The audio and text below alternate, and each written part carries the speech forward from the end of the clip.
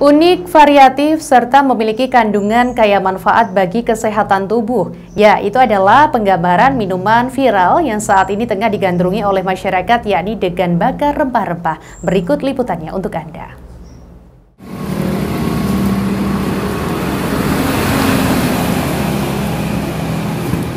Minuman degan bakar rempah-rempah ini dapat ditemui di warung sederhana di daerah Kabupaten Kediri, Jawa Timur, tepatnya di Desa Tertek, Kecamatan Pare, Kabupaten Kediri.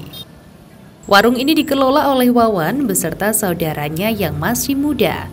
Proses pembuatannya pun sederhana, yakni bakar ke dalam tong selama dua jam, lalu kupas untuk diambil air dan diambil daging kelapanya.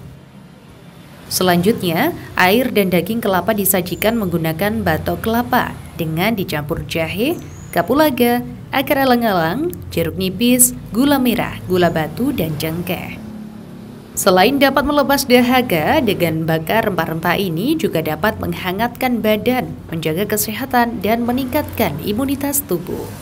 Nah, es degan biasa sama dengan bakar. Jadi kita jualan dengan bakar sama rempah.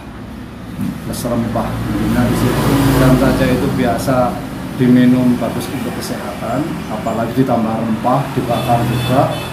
Uh, untuk penyebaran rempahnya itu membantu kekebalan tubuh apalagi musim kayak gini nggak menentu. Uh, siang panas sore hujan gitu kan. Ya otomatis daya tahan tubuh melemah kita menjaga kesehatan lebih penting lah. Kita menjaga daripada nanti kita kena baru menjaga. Jadi ada rempahnya ya dalam ikan ada, bakar. Mas. apa ya. aja itu mas? Salah satunya nih uh, untuk yang biasa kita rempahnya itu akar alang. Alang-alang terus kita pakai gula merah pakai serai pakai itu jeruk nipis kita juga pakai jahe itu buat uh, ngangetin badan Sementara itu untuk menikmati sajian degan bakar ini, masyarakat cukup merogoh kocek Rp18.000 untuk menikmati seporsi minuman menyehatkan ini.